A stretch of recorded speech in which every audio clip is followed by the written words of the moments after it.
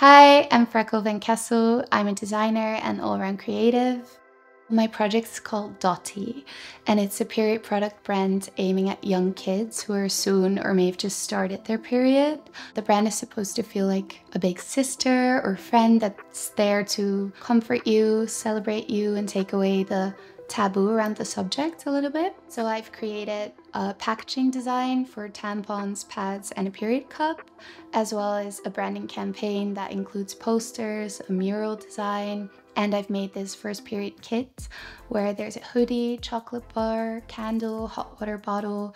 Talking to people, I found that there's a lot of shame, cultural factors as well, and just a lot of misinformation about the subject of menstruation. So I wanted my project to be a safe space for uh, young kids to ask questions about it, to watch videos on the website that I've designed as well. I'm from the Netherlands. There's not a art school at university level, but I really wanted to do that. So I came to London, had a look around LCC, and I absolutely fell in love immediately. Like I knew this was where I want to be. I loved the course. Uh, it's been so much fun. I feel like there's a lot of space for personal experimentation. You have a lot of freedom to try whatever you want to do. Obviously, there's great facilities here as well.